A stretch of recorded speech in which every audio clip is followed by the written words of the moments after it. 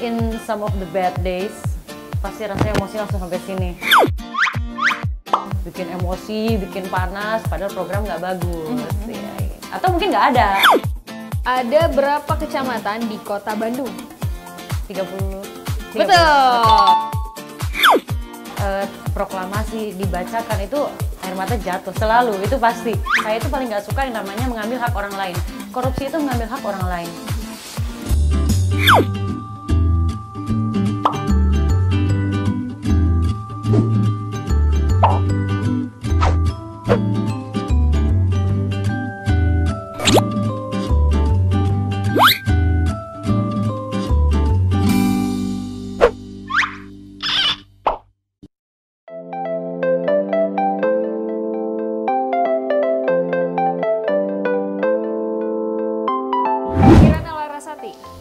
Ada berapa kecamatan di kota Bandung?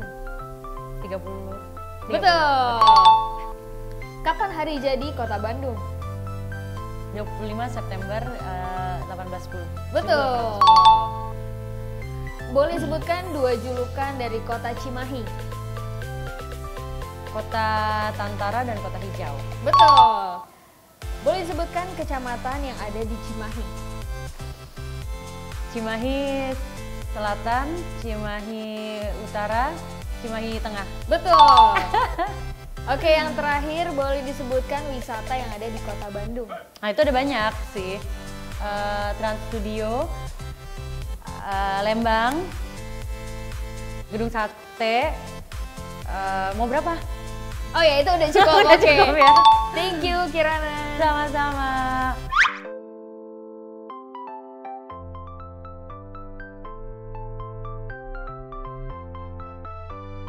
Kirana Larasati Hanafia. Oke, eh, di Instagramnya Kirana sendiri kita bisa lihat eh, udah banyak posting soal kampanye dan lain sebagainya, tapi banyak juga hatersnya. Gimana sih sosok Kirana di balik in- eh, pemilik akun Instagram itu Ya. menghadapi haters-haters yang ada di akunnya sendiri?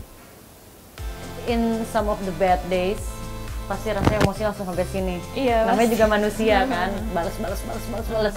Terus tapi sempat membalas juga. Sempat, Oh, pasti. sempat. Se- Sesimpel gini loh.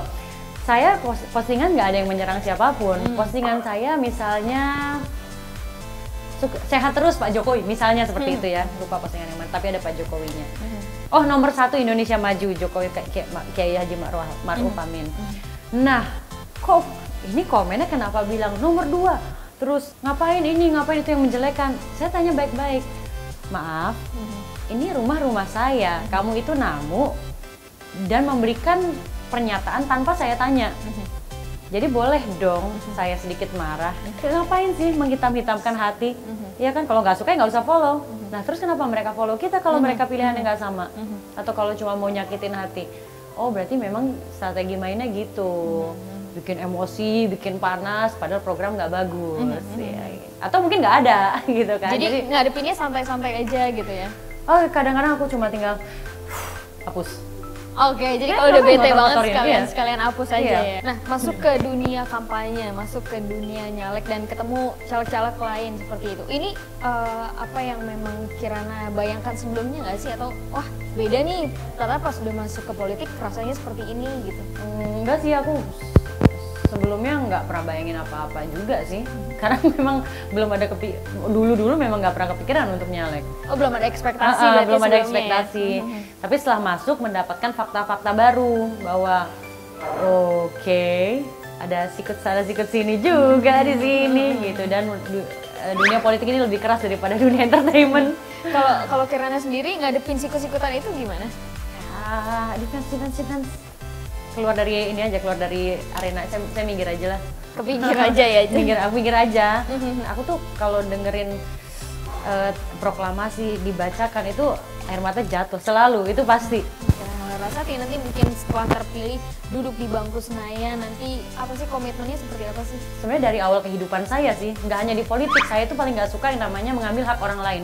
Korupsi itu mengambil hak orang lain makanya karena saya yakin saya bertekad dan saya tahu diri saya ini tidak pernah mengambil hak orang lain atau menyakiti orang lain saya yakin ketika saya nanti duduk eh, sebagai legislatif saya tidak akan melakukan hal itu menyalahi konstitusi mengambil hak orang lain, eh, berbuat korupsi. Itu komitmen saya. Oke, kita catat ya dan semoga sukses terus ke depannya untuk Kirana Larasati dan kampanye.